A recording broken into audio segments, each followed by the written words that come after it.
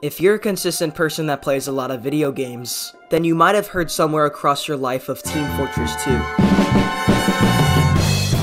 Across its 14 year lifespan, Team Fortress 2 has been some of the most popular video games on Steam. You may have heard of it, you may have watched it, you may have played it. People play and interact with the 9 red and blue mercenaries every day, sometimes even cosplaying as the characters in real life. Something about the characters and their writing just clicked to make it so perfect and comical.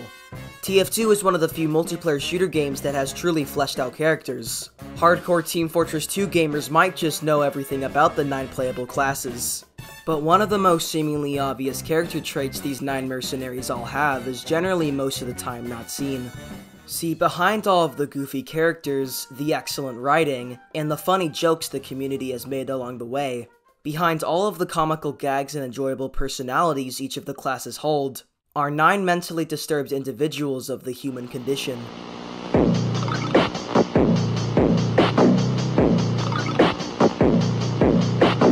Psychosis, schizophrenia, paranoia, all of which are one of the many thousands of illnesses the human condition could have.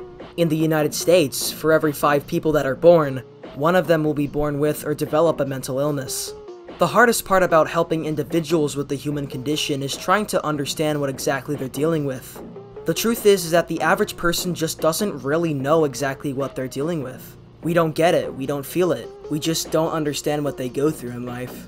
For the people that's jobs are to help the mentally unwell, there are a variety of methods helping them get through the day therapy, psychoanalysis, medication.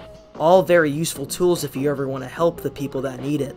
However, while these tools all might be very handy when you need them, it still doesn't exactly connect you with them on what specifically they are experiencing throughout their life. A way for someone that is mentally unwell to express themselves in a more bold way is art and creations. Ever since the 1900s, art created by the unwell has been an occasionally helpful tool if you ever wanted to attempt to connect with them. It shows just a little slice of what they are thinking right now, how they view the world and the people around them.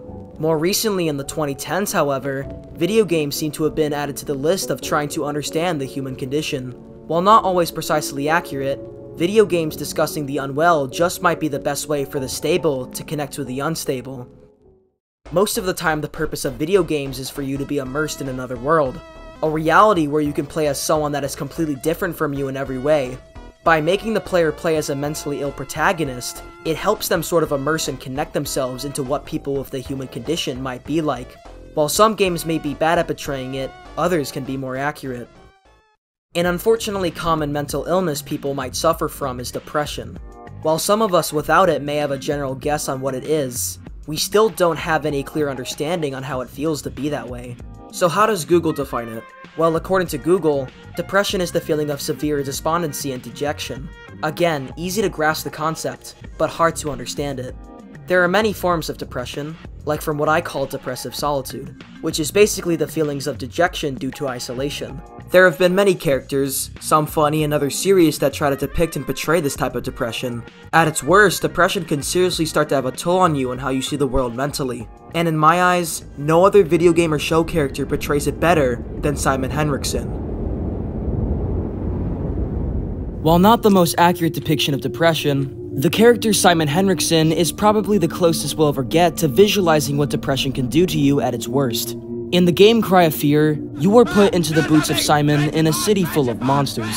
In this game, nowhere you go feels safe. Hallways in Cry of Fear will often be cruelly barred off.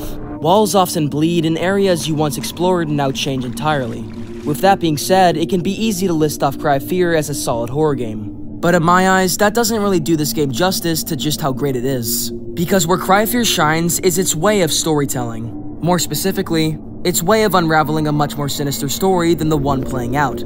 As while it might not seem like it at first, once you piece together the true story, Cry of Fear is eventually revealed to be a morbid take on depression. One of the many common occurrences you'll feel in this game is feeling lonely. Throughout the game, you will experience a lot of loneliness at times, whether that's you quite literally being alone, or feeling like you have no one to guide or help you.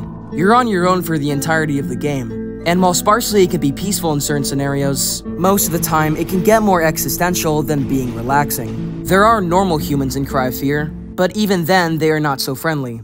One of the people you find in this game is the Doctor, a man that doesn't exactly cause direct harm to you for the first few hours, but does show signs of questionable behavior. During the game, you will always be just out of reach with the Doctor. Your first encounter with him is incredibly dodgy to Simon, standing in the corner of the room talking about how he can't trust you. He also goes on to imply that there's an infection breaking out in the city as he's wearing a gas mask, making us believe this game is actually about an apocalypse more than anything else.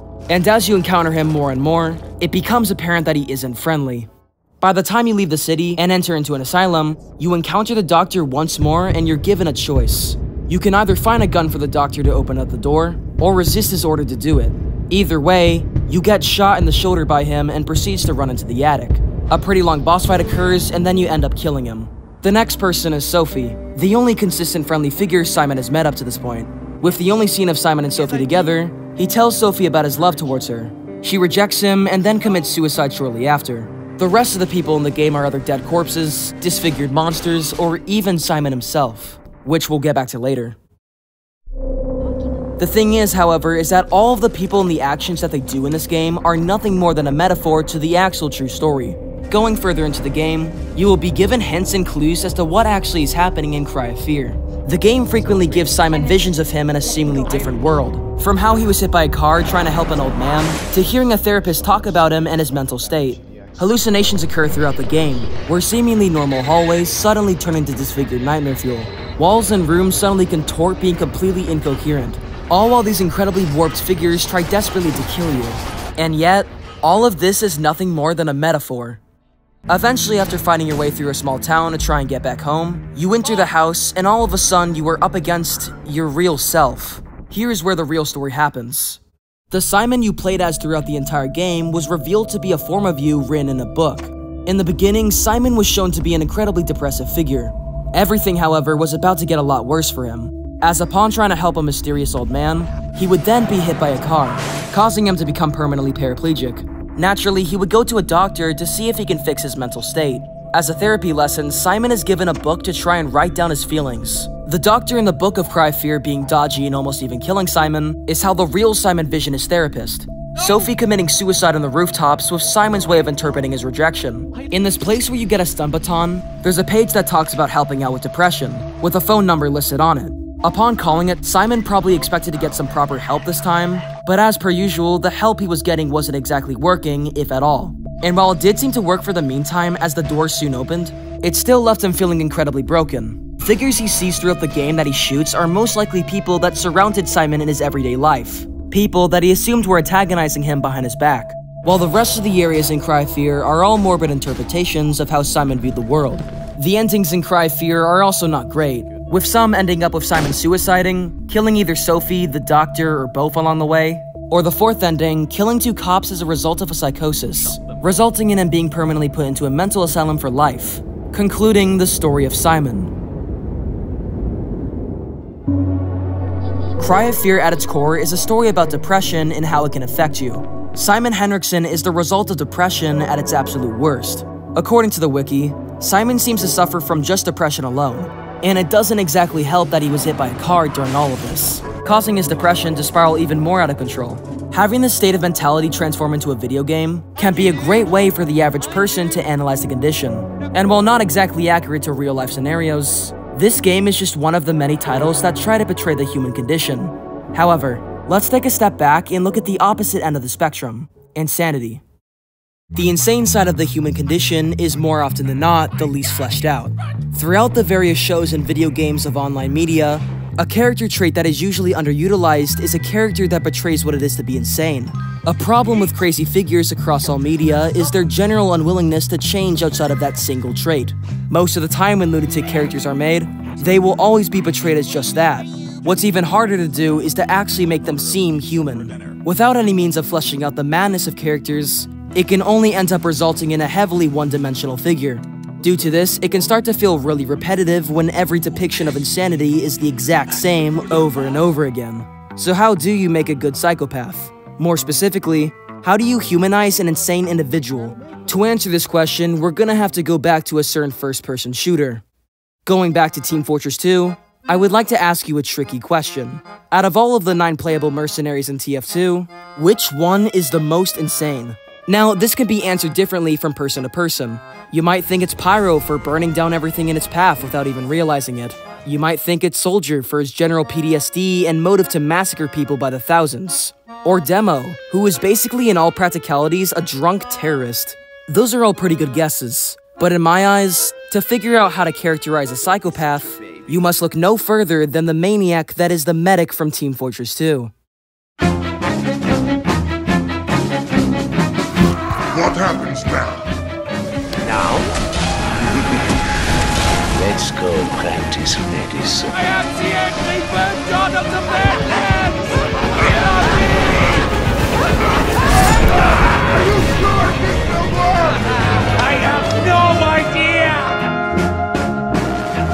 The medic from TF2 is the living embodiment of how to professionally humanize a psychopath. Despite being the healing and support class for the team, the medic is possibly the most insane and unstable psychopath out of all of the characters in the game.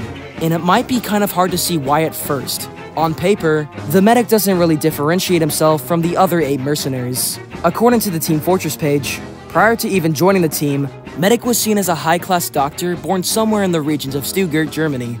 In-game, he can actually be an incredibly helpful individual, healing the team quickly one by one at will, and can at times be the key factor to who wins the round, all while being a generally comedic and funny character in the process. So on paper, it might seem like Medic is actually the sanest out of all the team, but in practice, that couldn't be farther from the truth. As the years went on in Team Fortress 2's development, the Medic's true character started to reveal more and more. In the YouTube video Meet the Medic, Medic tells the iconic story to Heavy of how he implies that he lost his medical license due to stealing a man's skeleton. In the Team Fortress 2 comics, Medic is suddenly transferred to Hell after abruptly dying, and negotiates with the devil to go back to Earth by claiming his nine souls, trading one of them with the devil's pen. Medic on top of that is also prone to be incredibly violent and unethical, being able to go on a killing spree with his bone saw and needle gun. Of course, he actually isn't very good at doing that in game, but he can do it. And the list goes on, shoving gigantic hearts down people's open chest, and not even putting on clean gloves for his operations. However, even these are pitiful to what Medic is actually capable of, because it's also not hard to see that Medic can downright play God at times. Things like severing Spy's head and having it live, and many more countless examples. In the Halloween event in TF2, you were allowed to wear a cosmetic for the class known as the Second Opinion, a seemingly average Halloween appearance until you factor in the voice lines. Upon having this equipped and dominating people in game, the sewn-in part of Medic can be heard at times telling him to do things like kill all of his friends. And while all of these attributes are for the most part moderately crazy, not even those come close to the Medic's most important and downright psychotic creation of all time, the Uber Charge. Are you sure this will work? I have no! With the simple flick of a switch on the Medigun, the medic can create enough power to ubercharge someone, an element where for a very brief moment, you could become invincible and are rendered immune to in and all coming damage, allowing the host to go on huge rampages as there's basically nothing no one could do to stop the unkillable force. With this in mind, it's not hard to see why the Uber charge in a round is a serious game changer. Unless you already prepared beforehand or even have a method of killing off the ubercharge, there isn't really much you can do other than to run and hide. The medic's ubercharge is powerful, and has been the subject of numerous victories for countless of teams. The Ubercharge single-handedly can bridge the gap between a strong defense, offense, or stalemate. So with all of these character traits in mind that the medic has, it can be pretty reasonable to conclude that the medic is downright insane. Whether if it's him going on complete massacres, playing God, or just being an all-around grotesque individual, it's very clear that Medic is by far the most psychotic mercenary out of all of the nine team members. And yet, not a lot of people really bother to notice. Despite the outrageous crimes against humanity Medic seems to commit, and all of the downright deplorable creations that the Medic innovates, most people still in practice don't really seem to notice just how insane he really is. In fact, people actually seem to find the Medic more charming in most cases than actually a psychopath. Instead of seeing him as a mad lunatic doctor, people more often than not see him rather as a funny, helpful, and even friendly figure which can all be tied back to just how well the TF2 developers fleshed out and characterized the supposed Mac Doctor. Due to the amazing character development of the medic, people not only seem to resonate with the medic, but outright forget how insane he actually is, seeing him most of the time as a charismatic and helpful individual. Comedy also tends to help give character to medic. Throughout the various TF2 videos on YouTube, you will often come across hundreds of videos of Medic being betrayed as a meme, hero, or friend, rarely ever dissecting the insane part of him in most of the videos. Because of this, Medic is essentially the peak of humanized insanity. He shows us that not all maniacs have to be portrayed in the same way. Sometimes they can be fleshed out and characterized into a proper human. Medic also tells people that you don't have to see them as just lunatics. As I've stated before, most people just seem to forget that Medic was a maniac in the first place, and see him really more as comical rather than threatening. Team Fortress 2 is amazing for many reasons, but one of them is just how amazingly fleshed out they managed to make these 9 crazy lunatics, and especially the Medic. So if you ever want to know how to create a brilliant maniac, a good starting page is to look at the surreal inner workings of the medical doctor from TF2. On the subject of Valve with their amazingly fleshed out characters, another often underrated maniac that Valve created was shipped along with the influential FPS series, Half-Life 2. In the middle of the game, after escaping Eli's base in the chapter Black Mesa East, you explore into the depths of an abandoned town at night, Ravenholm, where in the midst of it, you find someone like Father Grigori.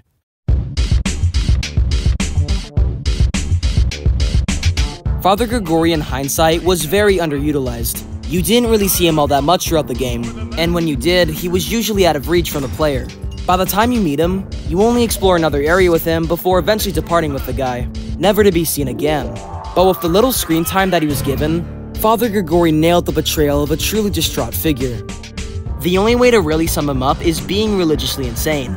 Grigori is a heavy believer in faith, and it seems his religious beliefs would only get stronger now with the influence of zombies. By the time the player goes to Ravenholm, it's nothing more than a foggy town infected with headcrabs. But through subtle dialogue and environment, it can slowly be revealed to the story of what Ravenholm originally was. Ravenholm, according to Alyx, used to be an old mining town near the coast around Eli's base. But as time passed, it would gradually start to be used as a safe haven, a town for refugees to flee the oppressive force of the Combine, a universal empire in Half-Life 2 that was so utterly powerful, it managed to fully conquer the planet in just 7 hours. With the massive oppression of the Combine force in any surviving cities, hundreds of thousands of people would flock to Ravenholm, with Grigori most likely being either the leader or priest of the town, as churches can be seen everywhere. And for a while, it would seem that Ravenholm would be used as a major ground for the resistance. But unfortunately, as luck would have it, the Combine would eventually detect the town after some time, in response, the Combine would deploy several canisters harboring headcrabs, small alien creatures that if latched onto your head, could completely turn people into zombified corpses. In an instant, the whole town was thrusted into chaos. You never get to witness the massacre at day one, only the aftermath. Ever since the unseen attack, what remains in Ravenholm are empty streets filled with headcrab zombies. Noting this, it's also reasonable that Father Grigori is the last survivor of Ravenholm, which now brings us to his current mental state. The only effective word I can use to describe Father Grigori is traumatized. Having witnessed all of his people get slowly slaughtered and zombified has probably severely affected him. During your time in Ravenholm, you can hear Grigori chanting to himself about unconnected and random biblical references. When he spots you, he often refers to you as his brother. Of course, being in a town full of newly infected zombies, you're gonna have to be a bit nimble in order to survive. Father Grigori for the most part is only really seen on roofs, but he can also be occasionally seen in windows, shooting zombies out of a building, etc. According to the wiki for Half-Life 2, Father Grigori suffers from a form of chronic reactive psychosis, a human condition of how you're affected under a traumatic situation. He's also prone to maniacally laugh out of nowhere. When he ends up killing a zombie, he will mourn the corpse and say that they can rest now. With all that being said, you can't really help but feel bad for the guy, Grigori is an excellent video game example of how to portray the traumatic side of the human condition. With nothing to lose, Grigori decides to help the player out. He gives him a shotgun and lets him make use of the various traps he planted to kill the zombies. And eventually, just when things looked bright, he leaves himself behind and runs away into the flames of a distant fire. And we never get to see him again past that point. Father Grigori was an incredibly unique character to the Half-Life series. He was only ever seen in one chapter in the game, and was generally underutilized. But even with that, he managed to seemingly embody what it was like to live with pure trauma. The human condition where you experience something so distressing, it can start to change you. It also doesn't help that he most likely felt incredibly isolated. Nothing but your thoughts and a bunch of reanimated corpses would probably also further promote his insanity. There are tiny theories out there that Grigori might still be alive in the minds of episode 2, but other than that, you never see him past this point. But maybe it's for the better. Trying to help Grigori from his personal trauma is about as hard as it sounds. Anyways, you leave him behind in the flames as you go into the mines of an infested cave. You escape the mines into the outskirts, and eventually drive off into the coast, never to return to that mysterious old mining town. There was, almost for a while, a development of an entire Ravenholm game. Made by Arkane Studios, the game was originally supposed to be served as a successor to Ravenholm, but that was cut prematurely. Who knows? We may have gone to see what exactly happened to the town, what happened to Grigori, and how he survived the zombie apocalypse. But we may never know. All that's left of the old guy was that one surreal chapter back in 2004. Rest well, Grigori. You will be missed. As we've covered before, chronic past trauma is an incredibly horrible experience to anyone that has it. With that being said, though, people tend to have different types of trauma depending on the situation. Going back to the last character, Father Grigori seemed to suffer from pure trauma as a result of having to witness all of his people become zombified. But what other forms of trauma are there? Well, another unfortunately common form of trauma can be seen in the people that had a rough childhood. This can range from having to deal with the abandonment of a mother or father, the family resorting to a life of drugs, or just a general amount of child neglect. And while most people that grow up with this experience just one or the other, what were to happen if a person grew up experiencing all three of these major issues? Well, in the eyes of the video game world, you have someone like Trevor Philip. Family. Yeah, well, I got nothing. No one gives a fuck about me. To the eyes of a stranger that doesn't have the context for Trevor's character, they'll mostly just see him as nothing more than a reckless and frustrated psychopath. Which, fair enough. In the game GTA 5, one of the many characters you get to play as is sure enough, Trevor. Throughout the game, Trevor is seen to do things ranging from kidnapping hostages, to robbing banks, committing manslaughter, smuggling drugs, and many more other examples. On top of that, Trevor's personality traits can also mainly revolve around being short-tempered and mindless. Using this info, you can't really think that Trevor is exactly a saint. But with that being said, you'll quickly find out when looking at his background the dark reasons for his behavior. And as you go through and complete the game, you can't help but feel pity for Trevor as you begin to piece together his backstory. The overall result of Trevor can mostly be tracked down back to his childhood. As a child, Trevor had to deal with the constant abuse of his parents, as his father would physically abuse him while his mom would emotionally abuse him, relentlessly tormenting him on how he wasn't good enough and how she was never proud of him ever in her life. Eventually, later in his life, his dad would presumably abandon him while his mother would partake in prostitution, all while he had to transfer to multiple different schools throughout his childhood. These early issues that Trevor had to grow up with would eventually shape him into who he is now. Later on, as the years went by, Trevor's internal anger would eventually let out, and he would get so utterly frustrated he would take out his anger on other living beings. At first starting out with simple animals, before going on to attack other people like his hockey coach, and eventually going on to presumably kill his own brother. If there was one thing that Trevor found himself to be good at, it was aviation.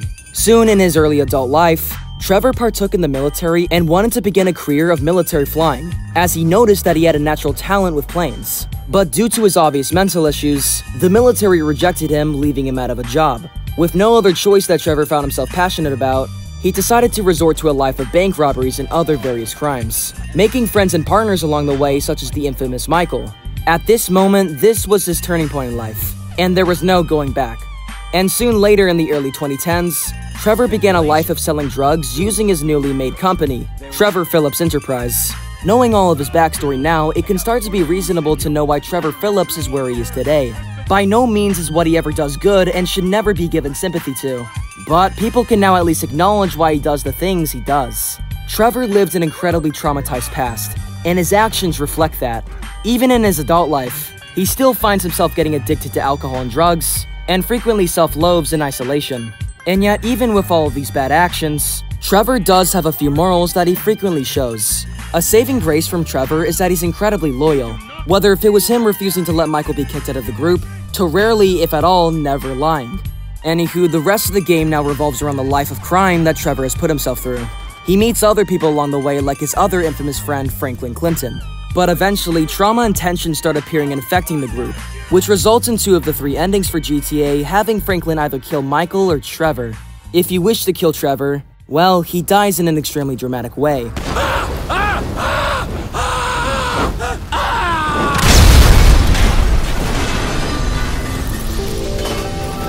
You always like gasoline, Trevor!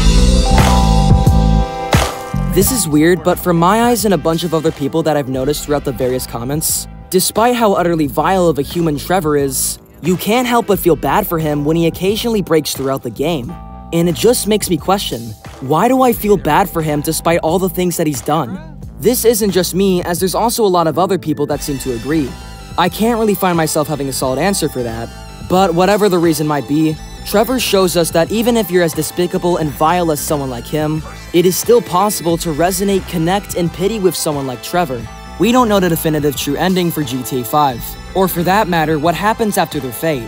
But if you choose the Death Wish ending where all three of them are still alive, after putting Weston in a car and pushing it off a cliff, they simply say their goodbyes to each other while Michael and Franklin drive off, leaving only Trevor behind as his fate is left ambiguous. Maybe once GTA 6 releases that we'll actually know what happens to the three guys. But until then, we are only left to speculate, putting a close to one of the most amazingly well-written psychopaths in all of video game history.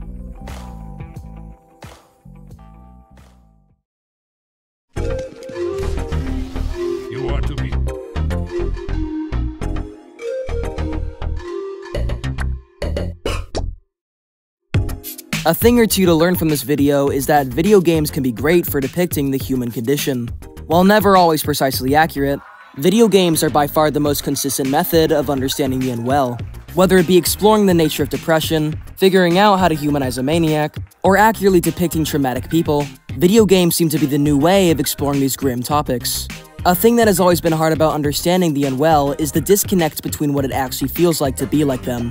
With the gaming revolution sweeping the 21st century, one by one, characters all over the industry are being understood with by average people. I hope you enjoyed this analysis of video game characters, as I plan to do more of this in the foreseeable future. I will be the first to say that this video is inherently flawed. I'm not a therapist or psychiatrist, so who knows? I might just be talking about random nonsense. I don't know a thing about depression, isolation, trauma, or even figuring out what makes a good maniac. But nonetheless, I hope I was able to do my best at depicting a fairly morbid topic through the art of gaming. A quick honorable mention to characters like Eric Cartman who didn't make it in this video. A kid who quite possibly has every single deranged and unwell trait a single person could ever have. I mean hell, there are entire videos out there that are dedicated to understanding just how awful Eric can be. There isn't really much else to say about him past that. He's just a really odd character.